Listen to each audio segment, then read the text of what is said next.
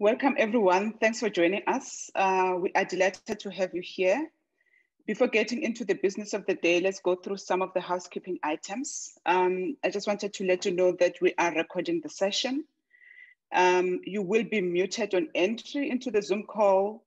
And if you have any questions, comments, feedback, submit them in the, in the chat section at the bottom of your screen and we will address all the questions um, at the end. After all the presentations, then we will take questions. We will try our best to answer all the questions. However, if there's too many questions, we will um, make sure that we follow up via email or even contact you bilaterally. Next slide, Holly. So most of you already know us, but for those of you who don't, we are a nonprofit climate science and policy institute based in Berlin, Germany. We also have offices in New York, Perth, and Lomé in Togo. Um, my name is Deborah Ramalope. I'm the team leader for climate policy analysis at Climate Analytics. I'm one of the co-leads for this project um, that we will be talking about today, the 1.5 Pathways project. I also have the pleasure to be joined today uh, by Saliem Fakir. Um, he's the Executive Director of the African Climate Foundation. Thank you, Saliem, for being here. Uh, Saliem is our keynote speaker and I think very well qualified to give us a perspective on the African transition to low carbon development. Then he will be followed up by our policy analysts, starting with Kim presenting South Africa, Winnie Khaemba will be presenting Kenya and Nigeria, and Marie Camille will be presenting Senegal and Egypt. Um, so those are the five countries that we will be sharing with you today, noting that we had other analysts working on the project, specifically Kali and Sarah, who also worked on Nigeria and Senegal. Also in the team, we are joined by our lead modelers on the project, Jonas Hörsch and Lara Welder, who will be able to answer any of your questions. So feel free if you have any modeling related type of questions, um, um, please put them on the chat channel and they will be able to respond to your questions. Next slide, Holly. Let's quickly go through the agenda. I will start by introducing the project briefly. Then we will have Saliem uh, with his keynote uh, speech and then straight into the five countries. Then at the end of the presentations, we will open up um, to get your questions, inputs, feedback, and as I said earlier, that we will try our best to respond to most of the questions here. However, if we run out of time, uh, we will follow up via email. Um, but we are also open. If you feel that you want to have further discussions with us on the project for a specific country, please feel free to contact, to contact us. Next slide, Holly. So a little bit about the project um, with the more interesting bits, I think uh, will be coming in the in the countries that will be presented um, later on. The main objective of the project is, is to provide 1.5 pathways. We're doing this for 68 countries. And if you look at the map, um, all the blue colored areas, it's countries that are included in the, in the project. So it covers the, the whole, all regions basically. And we are very thankful to the IKEA Foundation for supporting this work. So why did we go for this project? Uh, it's mainly because we've identified the gaps at mainly at national level. As most of you would know, there are global and regional 1.5 pathways. And although this is an important and I think critical step, um, analytical piece that could be useful in informing national planning processes, many countries do not have 1.5 um, pathways at, at, the national, at the national level. We also know that current NDCs are not sufficient to reach 1.5, uh, with current estimates showing something around uh, 2.4 temperature increases by end of the century. So we're still a bit far from reaching 1.5. Um, and I think with more analytical work, basically to empower countries as they update their NDCs and come up with their long-term strategies. Um, and the timing wouldn't have been perfect uh, given that countries are basically now, um, since last year, updating their NDCs and coming up with their, with their long-term strategies. Um, this would also be useful in providing national benchmarks uh, for national planning processes for development of sectoral policies. For now, we will only be presenting economy-wide pathways and power sector pathways. However, the projects, the project includes all other sectors, and those will be following um, in the next few months.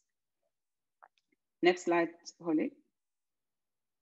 So the pathways we have considered in our analysis are from IPCC's special report on 1.5, which limit warming to 1.5 with no or limited overshoot.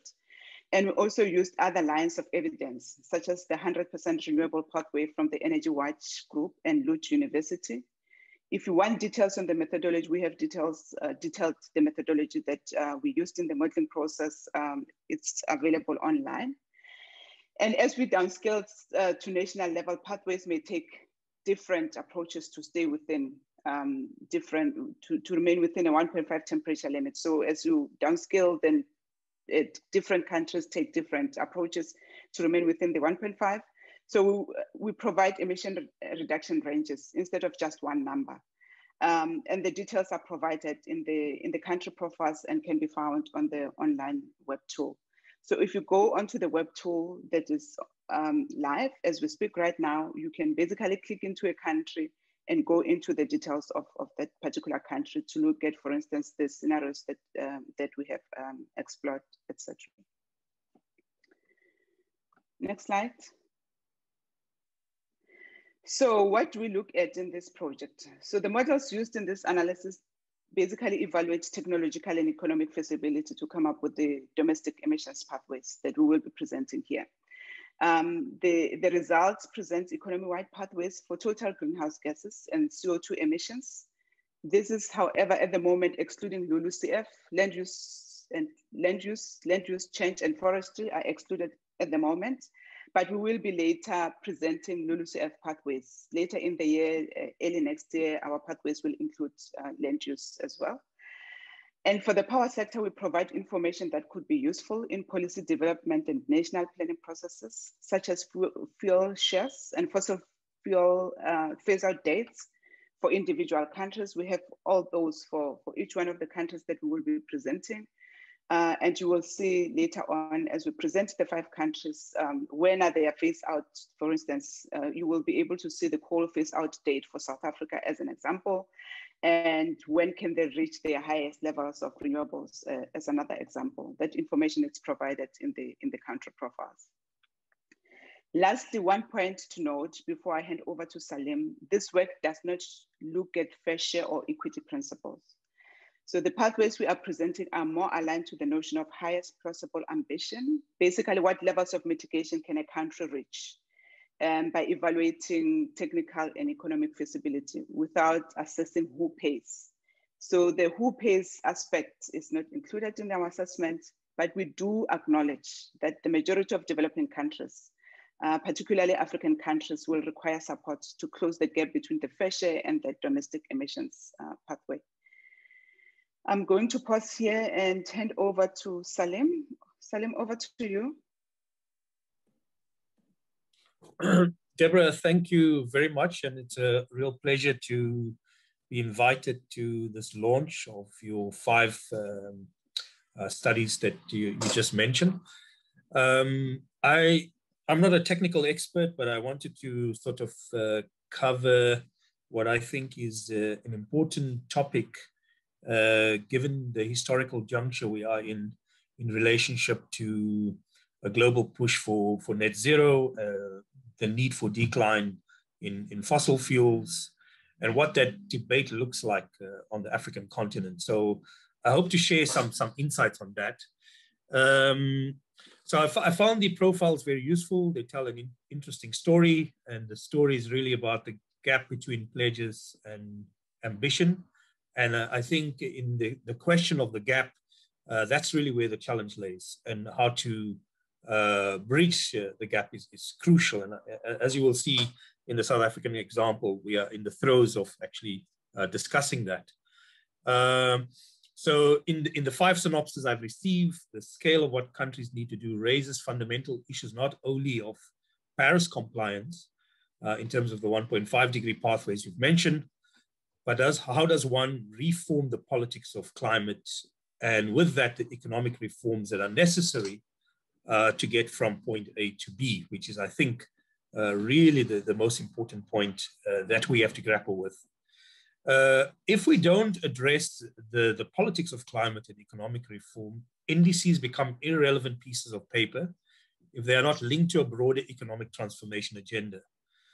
Uh, this is not something that can be done at the UNFCCC uh, alone, uh, although that is a forum for advising and for cajoling and nudging countries in the right direction. But it has to be done internally by the politics of key stakeholders getting together within a given country and being able to reach a consensus that this challenge has to be met and to be able to link their domestic uh, uh, climate agenda with uh, an international goal. Uh, so the domestic processes of reform and investments uh, in new infrastructure are critical uh, to be able to reach that ambition. Uh, I think this is going to be the real nuts, uh, crux of uh, what we need to do. I would say that in the recent establishment of the Presidential Climate Commission, there is some light at the end of the tunnel. I wouldn't say we're there yet. And the PCC, uh, just for the audience who don't know about the Presidential Commission, which was set up by President Ramaphosa and uh, uh, came into effect uh, early this year, originated out of a climate uh, decision, not, out of a climate decision, but a job summit that was held by President Ramaphosa, I think towards the end of 2018 uh, or so. And its specific focus was to look at long-term uh, low emissions trajectory for so South Africa and decarbonization of uh, South Africa's electricity sector and other sectors. Uh, and it took a whole economic point of view and effectively, at least uh, as far as economic theory goes, asked the fundamental question, if we were to decarbonize, will this lead to full employment compared to a fossil-based uh, economy? And I think that's really the question that the PCC has to address. The PCC has just uh, completed uh, a round of discussions around uh, South Africa's uh, NDC, which we, which the government released uh, for comment, and the uh, NDC, sorry, the PCC convened a whole lot of stakeholders together to discuss it. And I think you will hear some good news today when the NDC report is handed to the president today. So the PCC is a multi-stakeholder process, uh, given the nature of South Africa's uh, socio-economic issues and the make makeup of constituencies. It's made up of government, labor, business, climate activists, and so on. Uh, the PCC's role is advisory, but I can assure you that uh, in, the, in the way it, uh, it operates with uh, in its consultation process the, and its extensive participation by key ministers, that it is becoming a very influential agency that is uh, uh, autonomous but statutory to help to shape South Africa beyond just a, low emissions trajectory, but hopefully to set in stone a net zero target and with the lens of a just transition. Now, why is the South African uh, experience important? It's an important development in that it enables a breadth of different technical work from climate to economic transformation issues to come together in an attempt to address, uh, to draw a seamless relationship between uh, emissions, economic transformation, and the just transition. I think this is really the message in terms of Africa that we have to get these three things right. Uh, emissions uh, profiles of the uh, in future, uh, the economic transformation agenda, and this question of just transition, given the imbalance in, in socioeconomic circumstances in many of the countries that you've uh, just put a profile in. Uh, so these types of processes have to be replicated elsewhere in the continent if we are to turn a piece of compliance paper into an economic transformation tool. Uh, this will not happen on its own without institutional mechanisms that uh, allow for societies, diverse groups and societies, and the most important players to deliberate, understand the headwinds that are coming particularly on, for oil and gas countries on the continent, and agree on a way forward to adapt to these to those headwinds. NDCs also have to be framed within the macroeconomic profile of a country in order to understand economic and fiscal resilience that is needed uh, to shift uh, to new infrastructure, technology, and patterns of supply and demand that are diff, uh, that allow different sectors to be healthy, competitive, and new sources of investment and productivity. Uh, with this proviso that they, these economic reforms uh, that try to build around a new climate agenda are also inclusive and just economies. So for example, how feasible it is for Nigeria to shift from oil and gas, which is one of your studies, uh, uh, in order to lower its dependency on oil and gas to full electrifications without oil and gas. In any case, Nigeria has a challenge given its population size and a very small generation capacity.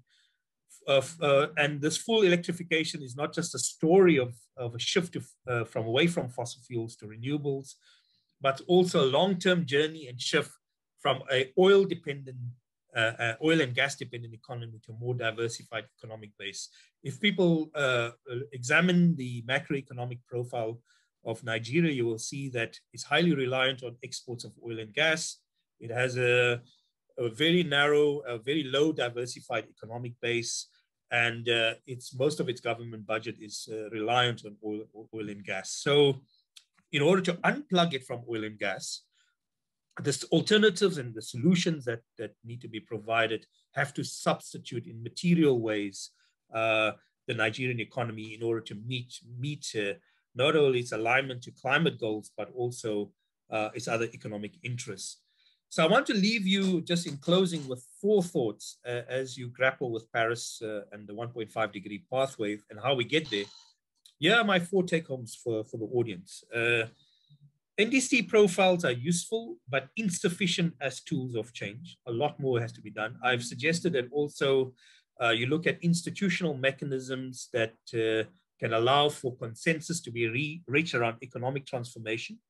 But very importantly, and I would encourage climate an- analytics to look at uh, the macroeconomic profiles of these countries and how they, the NDC targets and ambitions uh, and the change that is needed can be facilitated by a, a macroeconomic analysis. NDCs have to be complemented with other processes and tools uh, and I would say that these are deeply political processes, uh, but yet South Africa has just succeeded to get key parties on board to shape potentially an agreement to a net zero target and how to get there. NDCs and 1.5 uh, degree pathways will confront vested interests. We should not underestimate this. Path dependency problems, especially in oil, gas, and coal countries, uh, are one of those vested interests.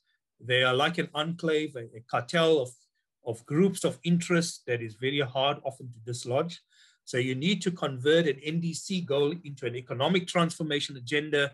That cannot be done just by uh, pleading and, and uh, making moral uh, uh arguments uh, in front of a very vested political elite. You have to mobilize a whole of society behind this. And this needs to speak to new investment opportunities and a decarbonized economy that can realize that economic theoretical milestone of uh, full employment. We also need to shift the de debate from a narrow climate finance agenda to a wider debate about reforms of the global finance architecture for both public and private finance. Decarbonization should be incentivized, and countries will also start looking at domestic fiscal policy and incentives to encourage right investments because climate finance is too narrow uh, currently as it is framed in the Paris uh, agreement of the 100 billion and so on uh, to solve the major global transition needs across the world and to do them, by the way, with a just transition lens. So finally, no transition on the African continent towards net zero is going to be easy and, uh, and so a different logic, narrative, and case has to be made that is not just about future emissions trajectory, but also what economic change means. And in most cases, as this has to address the vested interests of elites. And in countries like South Africa, social partners like labor, civil society, etc., uh, citizens have to be brought on board. So I would leave you with those uh, few thoughts, uh, uh Deborah, and thank you for, for the invitation to, to speak at this event. Okay.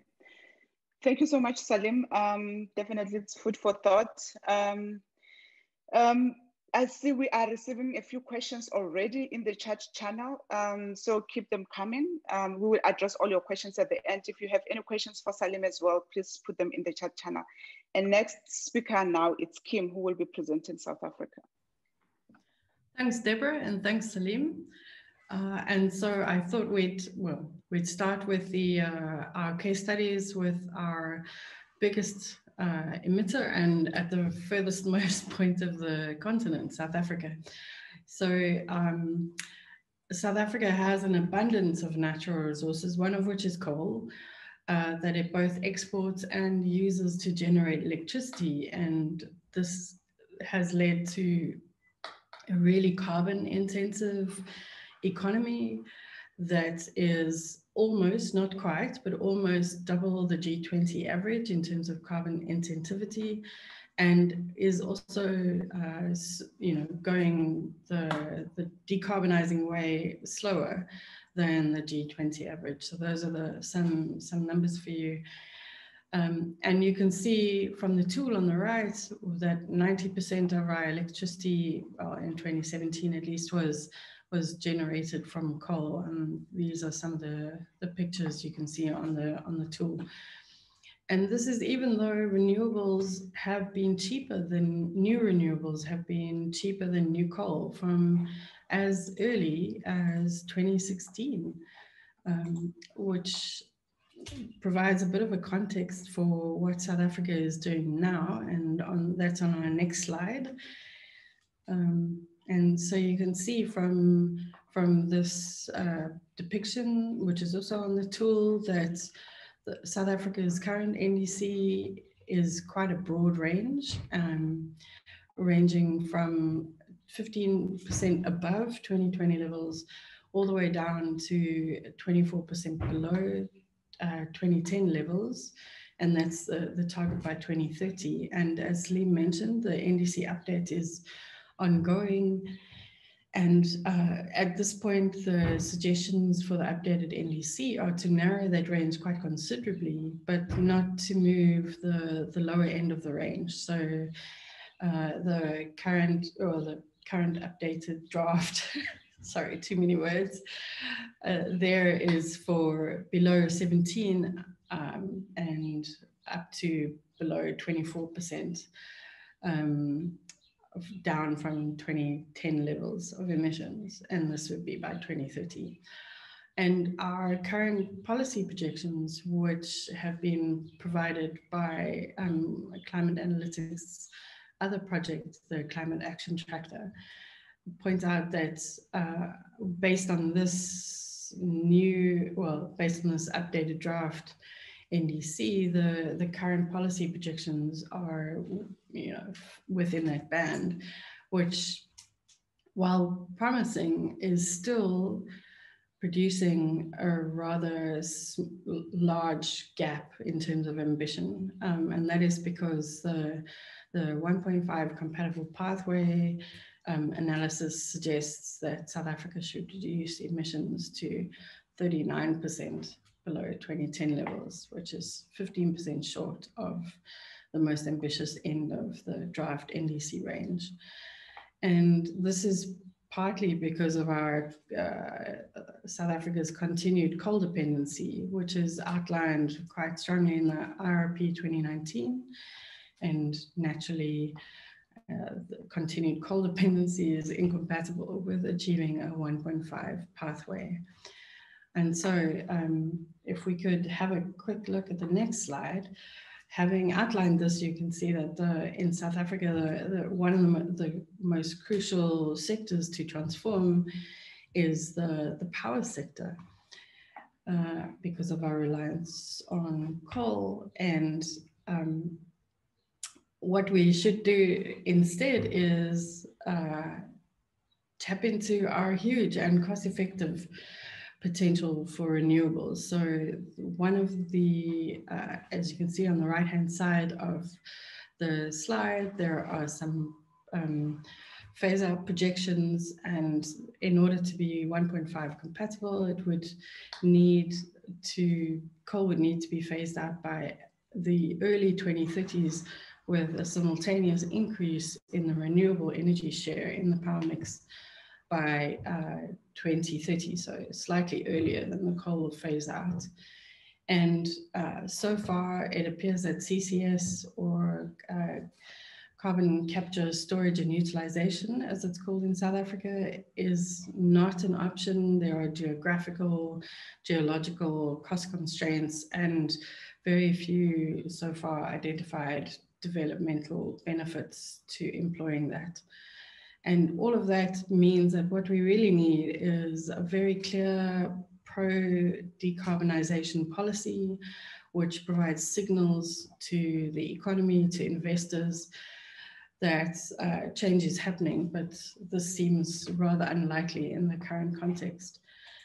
And furthermore, not a, I think Saliem made it quite clear in the South African context, at least, that decarbonization is not just for climate change, but offers a wealth of developmental uh, benefits as well. Um, if we have stranded fossil fuel assets, it means that we lose jobs, and job creation in South Africa is one of the foremost priorities.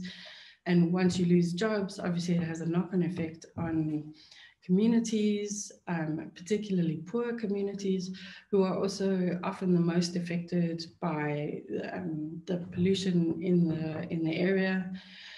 Um, so decarbonization helps us to avoid health system burden, uh, because particularly in, in poor areas like Mpumalanga and Limpopo, where some of the concentrated coal industries are at the moment. So new green industries offer opportunities for job creation as well. And hopefully also cheaper electricity, so which could lead to universal access, which in turn has its own developmental benefits in terms of like allowing children to read with electric lights instead of paraffin or candles and you know hopefully do better in schools and amongst a whole range of others that's just one and and lastly but very importantly i think for a developing country is the opportunity that dark decarbonization offers to forge its own path and not be constrained in the future by what coal importing countries might want. So to be able to set out its own independent path and follow that. So that's South Africa. And now we'll take a whistle stop, non carbon intensive flight up to North Africa. And I'll hand over to Marie Camille. Thank you very much, Kim. Um, so Egypt's national emissions are mostly dominated by the energy sector.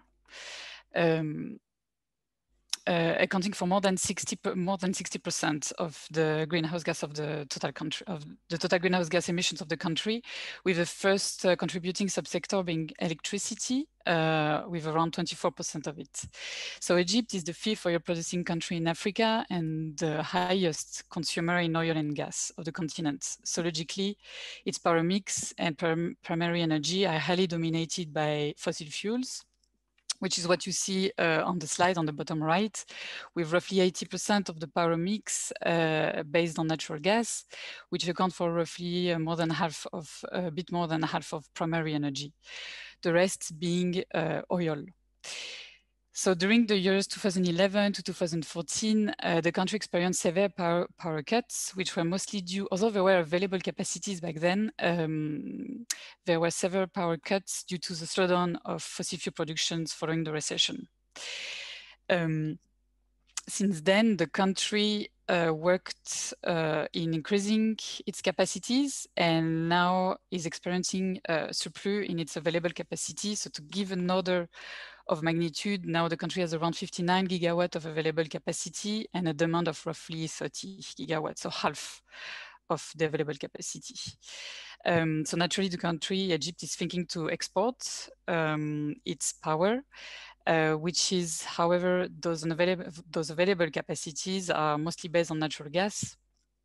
And as uh, mentioned Saliem, the, the, the world, the rest of the world is starting to engage on decarbonization pathways. Um, so the, that brings some uncertainties in terms of will there be a market, will there be uh, countries willing to import um, fossil fuel-based power? Um, and with that, I will go on to the next slide. So what does look like um, a Paris-compatible emissions trajectory. So the global discussed pathways we've analyzed here from the IPCC special report 1.5 degree, as mentioned by Deborah, show uh, emissions reductions on the short term of roughly 15 to 33% below 2015 level, and on the longer term, 60 to 70%. Um, so the the country, uh, Egypt NDC currently lists, uh, provide a list of measures, uh, mostly focusing on the energy sector, but does not provide yet an emissions reduction target. Neither um, has framed uh, a net zero objective. Uh, however, I was saying, Saliem, this is, uh, well, this will help to set a goal. Um, this will need to be accompanied, to go along with a transformation of the economy of Egypt, of the global economy. Uh, but the first sector to focus on uh, would be power and oil and gas sector, which we're going to see on the next slide, please. So what does it look like, uh, the power sector transformation uh, under those models? So we see a sharp increase in renewable energy. So by 2030, it reached around 70%. Um, this will mainly come along with, uh, will lead to a zero emissions power by around 2040 and will be driven by a phase out of fossil fuels. So we see a gas phase out uh, late 2030s, so by between 2035 and 2039, and no expansion of, of coal. Uh, so what are the opportunities to transition towards uh, decarbonized power? Uh, so we've seen that uh, Egypt has the ambition to serve uh, as a regional energy hub. Um, so as countries, as men I mentioned before, as countries are getting more and more towards uh, decarbonized pathways, they will be more they will be more eager to to import power based on renewable energy.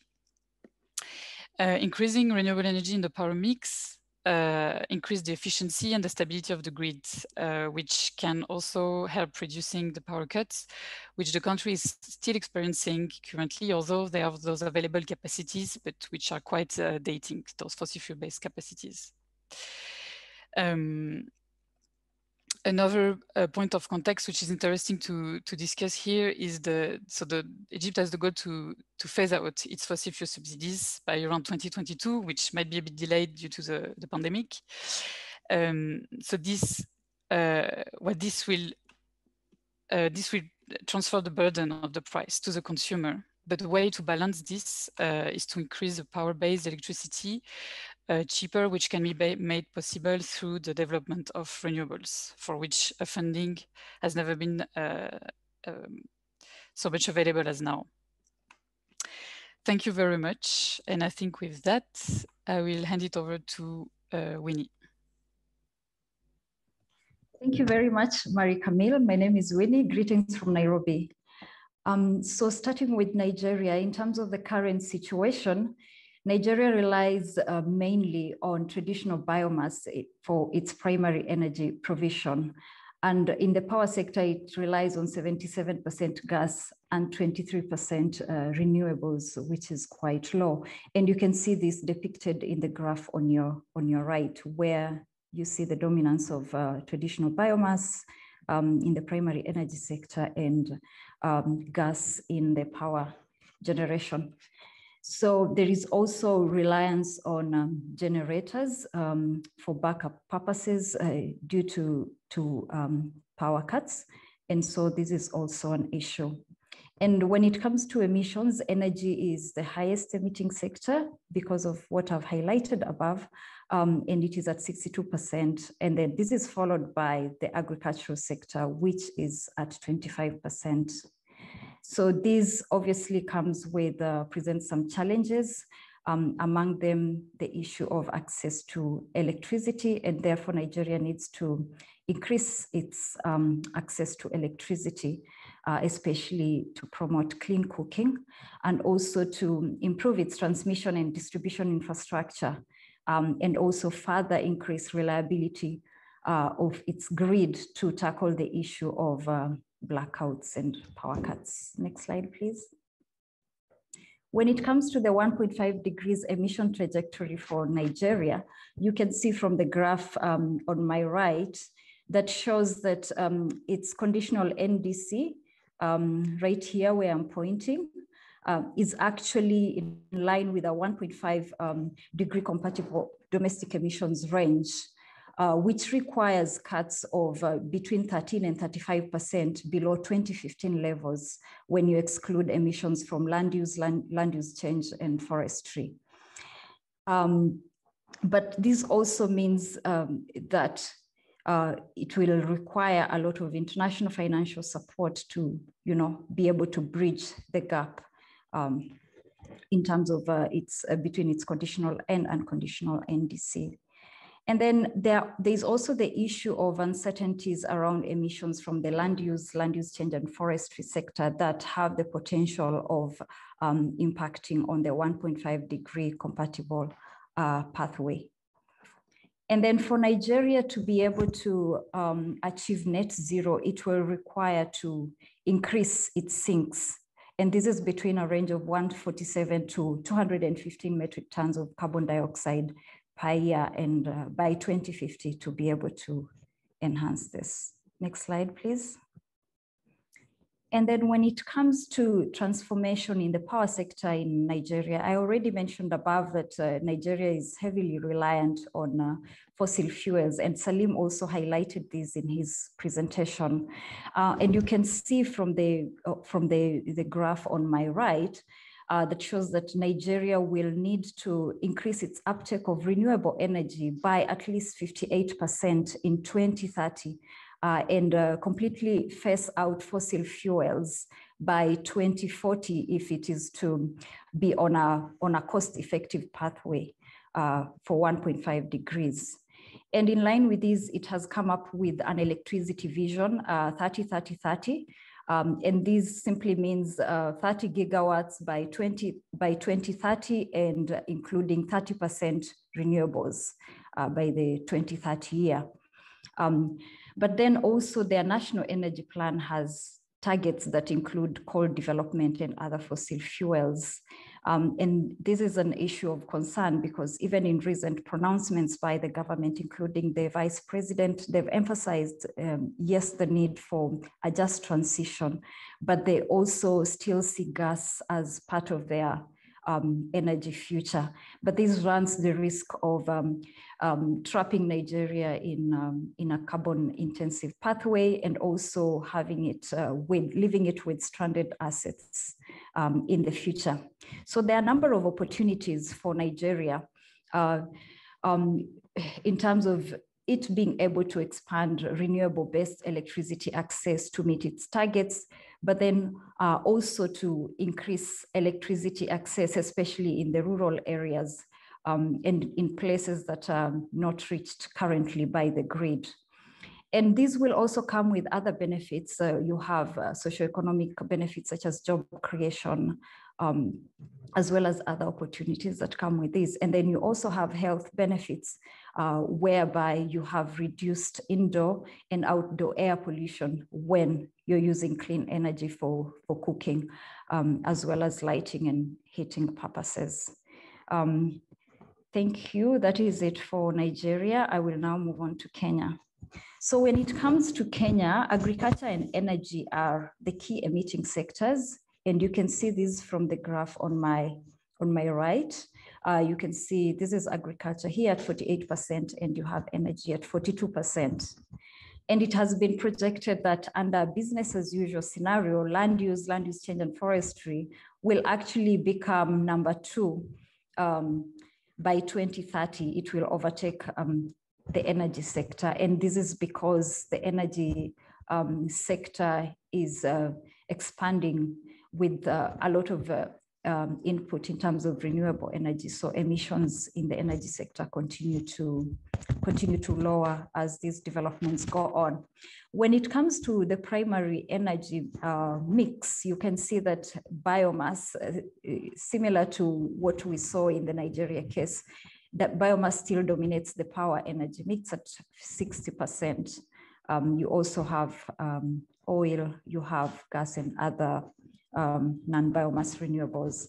And then when it comes to the power sector, you will see that in Kenya, it is dominated um, by renewable renewables at 90%. These include hydro, uh, geothermal, and uh, solar, as well as wind. Next slide, please. When it comes to a 1.5 emissions trajectory for Kenya, its conditional um, NDC is at 79% above 2015 levels. Um, and you can actually see this um, on, the, on the graph, the number two here where I'm pointing. And then these compared to the least cost pathway um, would require a 12 to 34% reduction below uh, 2015 levels by 2030. And of course, for Kenya to be able to actually meet these, it will require international financial support because it's conditional, um, conditional um, uh, because of its conditional uh, target and its unconditional target will not be able to uh, meet these. When it comes to net zero um, projections for the future, emissions from the forestry and land use sector are very uh, key to watch. Um, and so they need to be looked into in terms of monitoring emissions in that sector and increasing the capacity for, the, for this particular sector to become a sink. Next slide, please. Uh, when it comes to the power sector transformation, we already noted above that Kenya is uh, predominantly, uh, you know, reliant on renewable energy sources for its power sector. Uh, and you can see that in 2017, on the graph on my right, uh, here, Kenya already was at about 80% um, in 2017. And to be able to uh, for 2030, for it to be able to keep on a least cost uh, pathway, it would require to be 81%. So then this would indicate that Kenya is already um, um, on this particular, particular pathway. But Kenya also has plans to uh, develop coal, and it has uh, spoken about this in its policy documents, um, development of coal as well as other fossil fuels. But this also runs the risk of putting Kenya on a carbon intense pathway. Um, and sort of uh, making it, uh, you know, get stuck with stranded assets in future at a time when um, a lot of a lot of countries and the the sort of um, uh, uh discussion at the moment is about decarbonization um, of, of, of, the different um, economies. And then when it comes to, to transformation, um, specifically, Kenya needs to target electric cooking so as to be able to move away from the use of traditional biomass for cooking as well as heating. And you saw this from the graph before where biomass dominates the primary energy mix, but this would need to change. And these would have um, benefits, including um, co-benefits in the health sector, where 22,000 people die annually in Kenya because of uh, respiratory illnesses, and these are mostly attributed to uh, poor air quality um, as a result of using biomass and fossil fuels for cooking and, and heating, especially at household level. So this would be a, a co-benefit that arises from this. There would also be increased job opportunities uh, from the new and also um, ongoing off-grid renewable technologies that are continuing to be taken up um, across the country. Thank you. I will now hand back over to Marie Camille to take us through Senegal. Thank you very much, Winnie.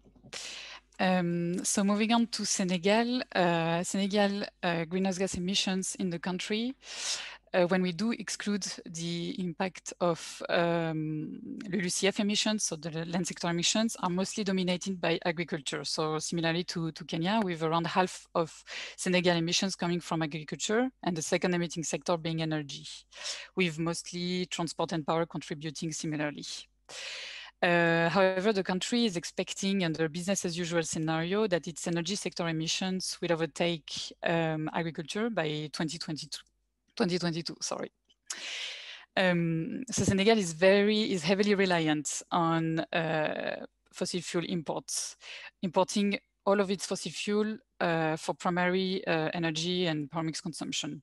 So what we can see on the graph, around 80% of the power mix is based on oil, and which correspond roughly 50% of the primary energy, the rest being uh, biomass mostly used for uh, cooking.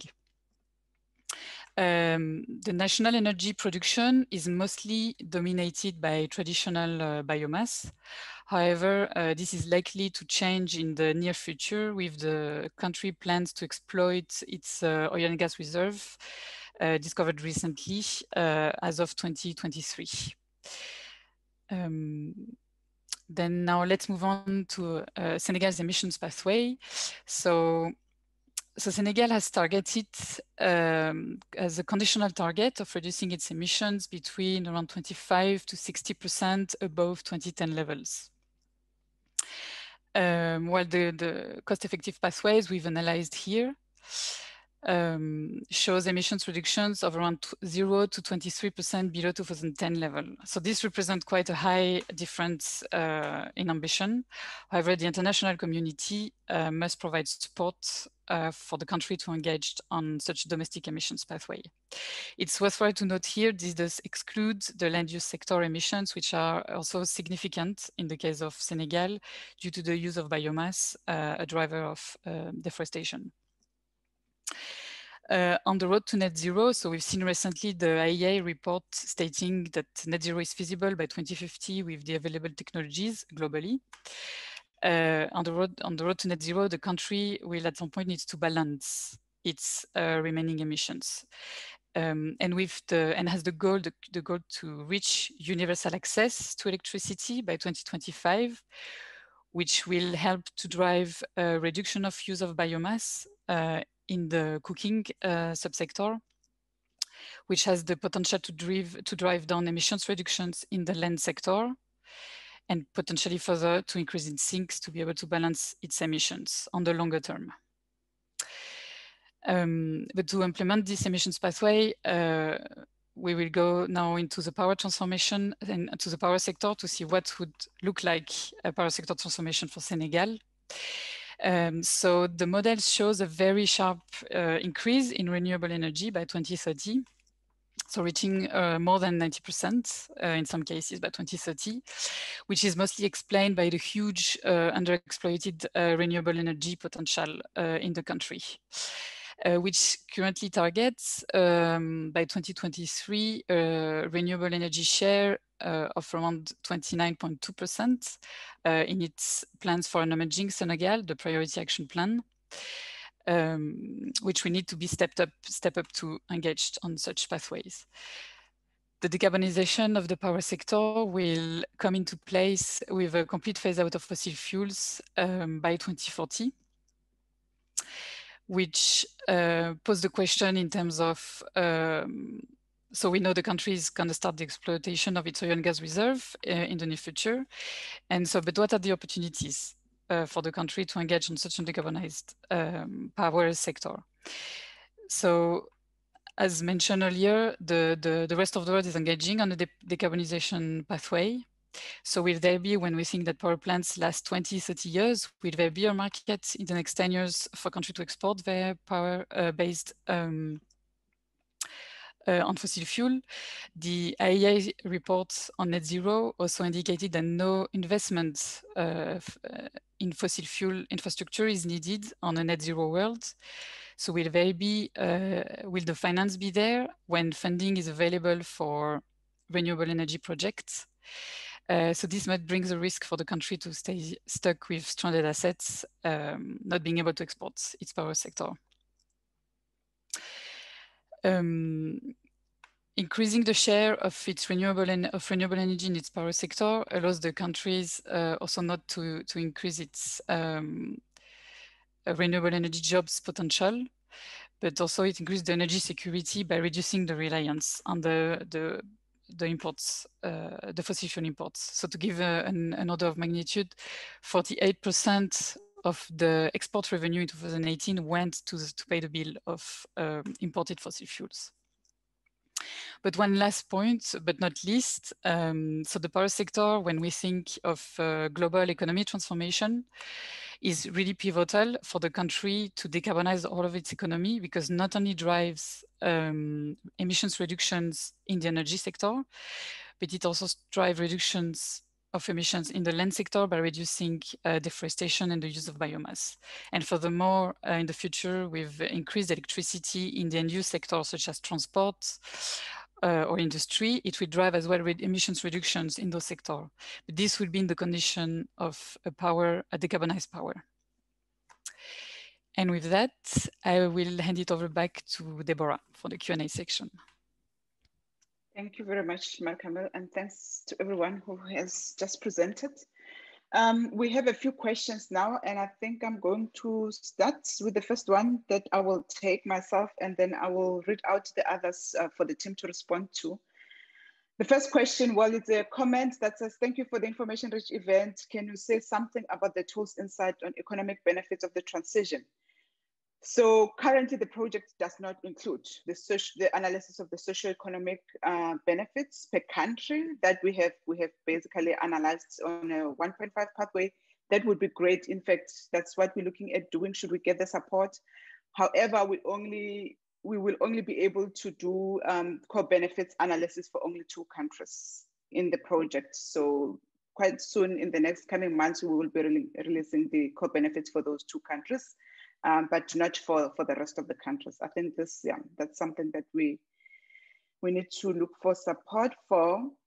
And I think one uh, question that is also linked to that, there's a question that says, will there be further analysis to determine a rough estimate of funding investments needed for grid infrastructure expansion in Nigeria? Um, yes, I think the one thing that I did not mention in terms of the full scope of the project, although I mentioned that we will still be coming up with the other analysis of the other sectors, the other work package of the project will basically be focusing on the investment requirements of the power sector for each one of the countries that we are analyzing. And that information will be presented in the next coming months. So the project ends uh, towards end of next year. So a period between now and next year, we will still be releasing results. And one of those, the key ones, it's basically the investments uh, requirements for, for, for the power sector for all the countries, including Nigeria. Um, okay, um, there is a question that I'm going to direct to Saliem. Saliem, it says, what do you think are the biggest opportunities in Africa for countries to transition to a low carbon economy? Saliem? Um, uh, yes, uh, I, I, thank you for the question, uh, Deborah. Um, at some point, uh, you know, it, it, will be good for me to present some analysis of uh, sort of uh, the distinction between oil and gas countries and what the profile of electrification looks like versus countries that don't have oil and gas.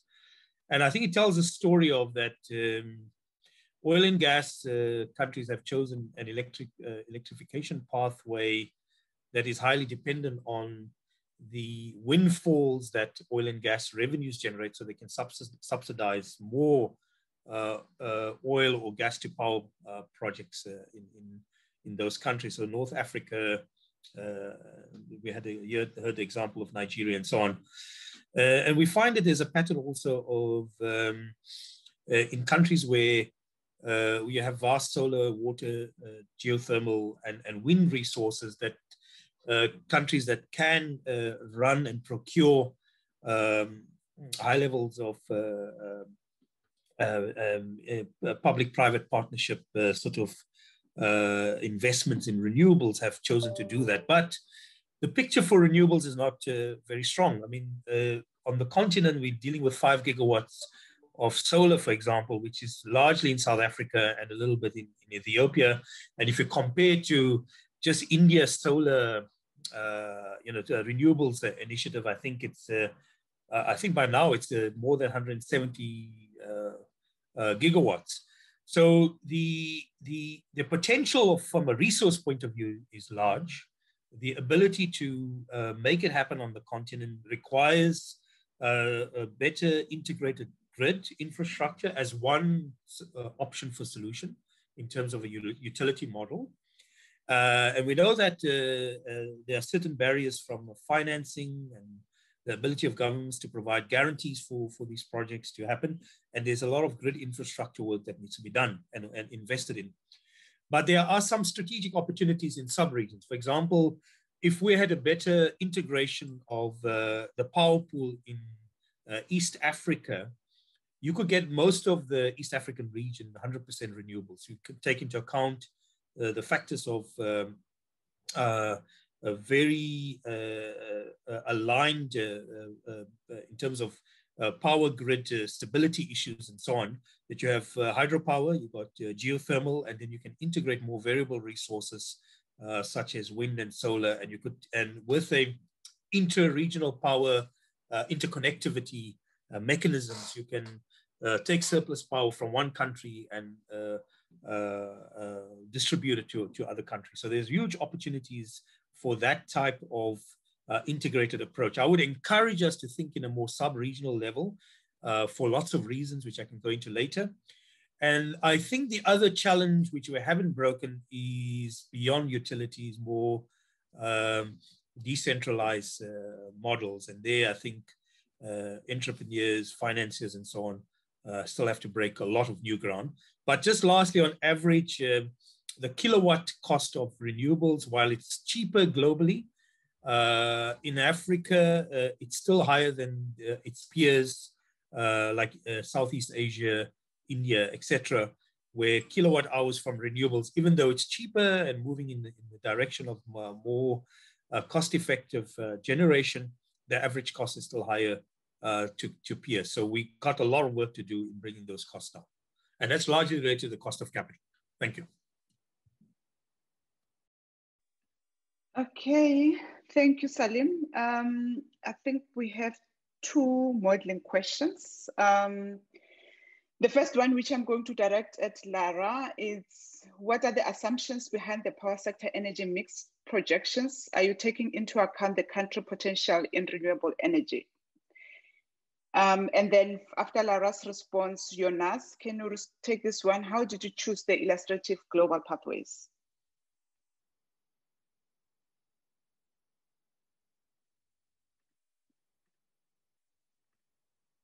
Lara? Um, yes, uh, sorry. Um, yes, uh, thank you, Deborah. So to your first question, um, what are the assumptions behind the energy mix in the power sector? So we base these assumptions based on the illustrative pathways we're investigating um, from the IPPC and the other lines of evidence. And these pathways do indeed um, consider the current situations in the country, as well as the potentials for these countries to further um, develop um, the, the power generation capacities in the countries. Thank you. And Jonas. Yeah. Yeah, thanks. Um, yeah, Jonas Hörsch speaking. How, so the question, uh, I want to repeat it since we, uh, this was already before, how did we choose these illustrative global pathways? And um, Deborah already hinted at it earlier that we studied the models that had been submitted to the IPCC special report in 1.5 and then ranked them so that they would minimize global warming, obviously, that they would rely less on carbon removal technologies like afforestation and reforestation, as well as bioenergy with carbon capture and storage. And we also prioritized pathways which are low on nuclear and fossil generation with carbon capture and storage. Thank you. Thank you, Jonas. Um, Kim, there is one question for you on South Africa transition from fossil to renewables in the power sector. Um, wouldn't that pose the risk to increase the unemployment rate in the mining sector?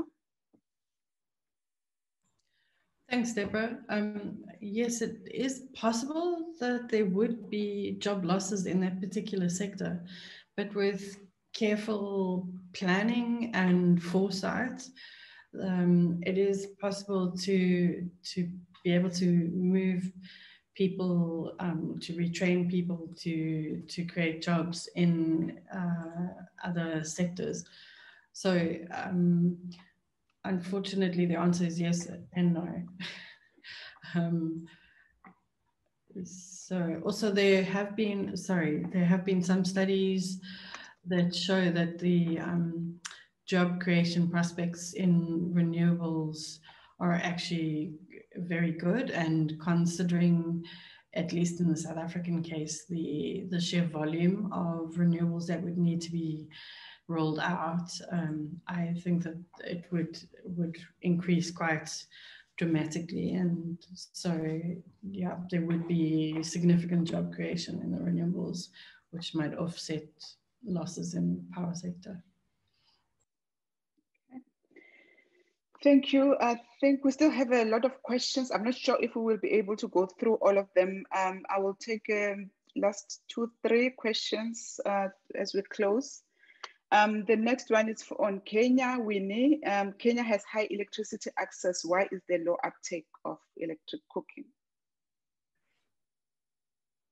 Thank you very much. Um, Thank you very much for that question. Yes, uh, that is true. Kenya has reported now that it has over 85% electricity access, but out of um, the whole country, there is only 3% of households that, under 3% actually, that use um, electricity for cooking. So obviously this is a key concern. Um, so in terms of ensuring that there is uptake for this, there will need to be um, incentives to ensure that people shift to electric cooking. Uh, and these will include incentives such as uh, probably reduction of costs and also generally just a public dialogue on getting people to shift more to electric cooking, as well as engagement and support by the government to low income um, households, because currently the, the supply for electricity is actually much, much higher than demand and there's a surplus um, in, the, in the grid. And also, um, just a, a, point to note, uh, from tomorrow, the, there is an imposition of a 16% VAT value added tax on LPG gas. Um, so it is anticipated that this might actually um, shift a lot of people towards electric cooking. Uh, but this shift, of course, has to be supported by um, more grid reliability as well as the incentives that I have mentioned briefly above. Thank you. Thank you. Um, the last, uh, I think, more uh, uh, question, well, not second last, uh, before we get to the last one for Saliem. Um, this one is on Egypt. It says, does Egypt also have high nitrogen oxide production? What impact does that have on emissions? Uh, Lara, do you want to take this one? Um, yes, maybe to that question, I can um, briefly mention that in our analysis, we do not only um, consider and uh, look at what happens to CO2 emissions in the future, but also focus on what happens to N2O emissions and CH4 emissions, so methane and nitro, uh, nitrogen dioxide. Um, if you have a look at the website on the current situation, um, there's a breakdown of um, what share the different um, gases have on the current situation. And um, yeah, maybe you find some, some interesting insights there also, of course, for, for all other countries. Um, concerning other um, compounds which consider nitrogen, we currently do not consider these in our assessments. Okay, thank you. Um, Saliem, the last question goes to you.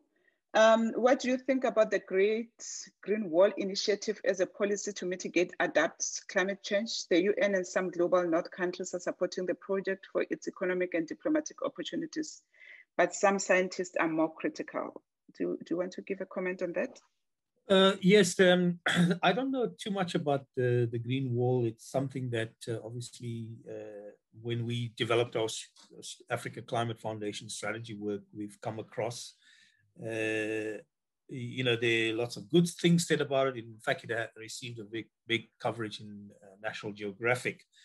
Uh, but as we have dug more into you know the Sahel region itself. Uh, the, uh, it will take more than the green wall to solve uh, quite a lot of uh, challenging issues uh, around what is increasingly becoming to be seen as a climate security issue in that region.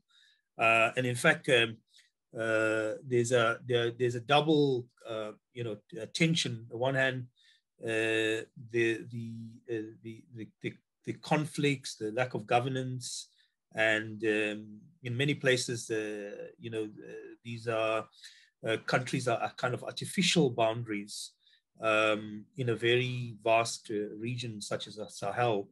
Uh, that uh, often the climate is more of an exacerbating issue of underlying other factors that are cause of conflict and insecurity in that area.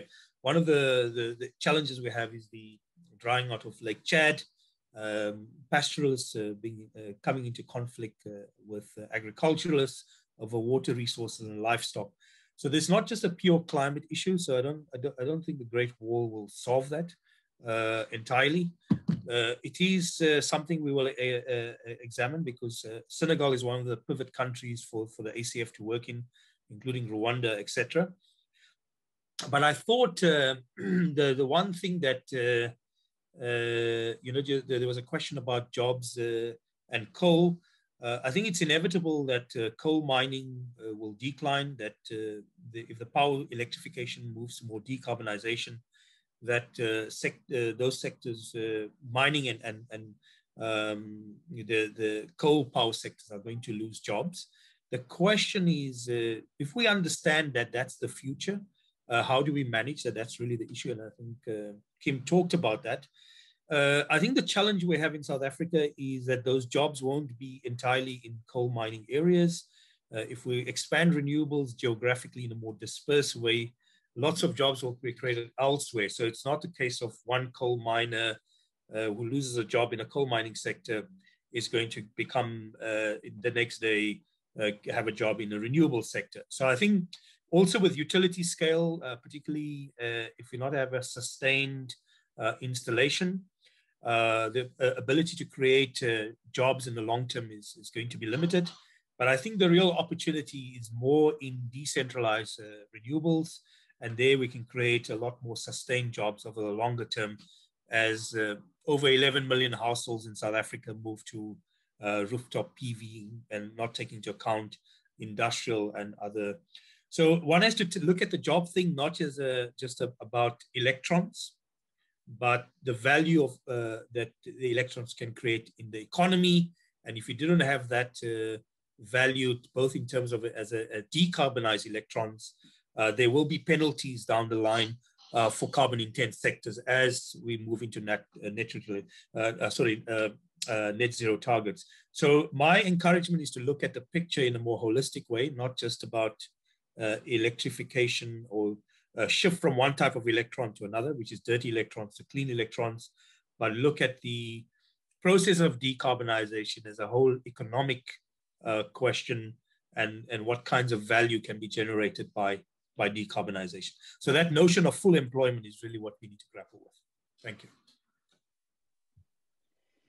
Good responses, Saliem. Um, I think we have taken questions for all the countries, but I think we've left out uh, Senegal, and I think I'm going to allow Marie-Camille to respond. We have a question on Senegal that says, outside the tool itself, do you know of work that looks at the transition costs related to the shift to EVs? In the case of Senegal, there would be fuel import savings, a clear plus, but a phase when countries like Senegal would see a surge of imports of EVs unless there is domestic manufacturing capacity. Um, is this something you are looking at? The profile of a country's trade balance would be affected for some time. Thanks. Marie-Camille, um, the last one that you can respond to. Thank you very much, Deborah. So we have so far focused on the power sector. Uh, however, the transport sector is one of the sectors we're going to be adding, uh, hopefully in the next uh, coming months uh, where we will look at more not from the perspective of uh, direct EVs penetration and how this will impact the import exports, but rather on the um, energy consumption. So the final energy uh, demand that will create the, the, the increase of electrification of transport. But that we hopefully will have it before the on the run up to COP26. Thank you very much. Okay, good. Um, I must say that we still have a few questions. What we will do, we have your contact details. Um, we will still uh, respond to you via email. And as I've said earlier, we are open for discussions. If you are interested in a specific country, please let us know. Uh, just reach out to us. Our contact details are there um, on the on the invitations or our email. You can get it on our website. But I would like to thank you so much for your participation in this session. Um, and we are very eager to get your feedback. So if there's something that comes to mind after the session, please just reach out to us and, and share your, your, your thinking around the, this piece of analysis because the intention of the sessions is basically to try and enhance and make it much more useful um, for, for all the national purposes. And we will be sending around a small survey in the next day or two um, to capture this and just to get your feedback. And we'll be grateful if you could uh, respond to those. Um, I must also say that this is one of the sessions, um, original session that we will be having. Um, the next one that we'll be following next week, it's the Asian Pacific region. And then from there, we will be going into other regions. So if you can please just keep um, your eye on the web tool, there will be details there um, if you want to get in touch with us. And for anything about follow up uh, on the project, you can get in touch with our colleague from our communications section, Holly. you have her email in the invitation uh, email that you have received.